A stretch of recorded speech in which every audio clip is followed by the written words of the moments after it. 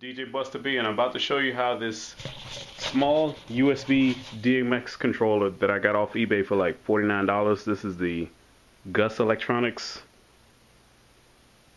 USB DMX controller. And just to show you how this thing actually does work as you can see here I have a DMX cable going to one of my Mystic LEDs and I actually have I got a netbook with a program called Freestyler open right now. And this is Freestyler 512. This is a free program that you can download off the internet. Just Google it and you can get a link for it and download the program.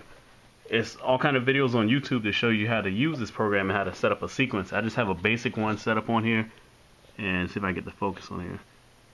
As you see right here, I could just start a sequence that I've had that I set up, a little small one just for this light to come on. And you can see right here my light is working off this USB controller. And you can adjust all kind of speeds, rates, all kind of things. You even can set up how your lights will look. Has another 3D program that you can load with this one to set things up. And as you can see, you could black out. Same features like some of the more expensive programs have, but this is a free program that does work with this USB DMX controller. Once again, this is just showing that this controller does actually work.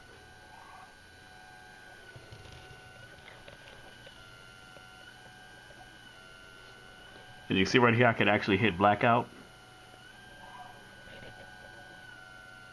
See the light cuts out. If I hit it again, the light comes back on. I can slow things down, speed them up.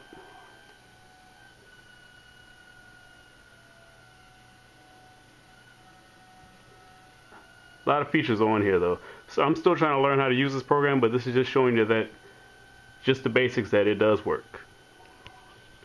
More videos to come.